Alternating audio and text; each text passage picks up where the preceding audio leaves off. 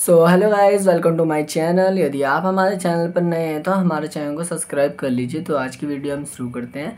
आज की वीडियो हम क्या सीखेंगे? How to change hotspot name हम अपने रेडमी के मोबाइल पर जो हॉटस्पॉट नेम है, उसे हम कैसे चेंज कर सकते हैं? दोस्तों, ज़्यादा मुश्किल नहीं है। आपको अपने मोबाइल की सेटिंग पर क्लिक करना है क्लिक कर दीजिए। क्लिक करने के बाद आपको यहाँ पर एक ऑप्शन दिखाई दे रहा होगा प्रोटेबल हॉटस्पॉट उस वाले ऑप्शन पर क्लिक करें। क्लिक करने के बाद आपको यहाँ पर एक ऑप्शन दिखाई दे रहा होगा सेट अप प्रोटेबल हॉटस्पॉट उस वाले ऑप्शन पर क्लिक कर दीजिए।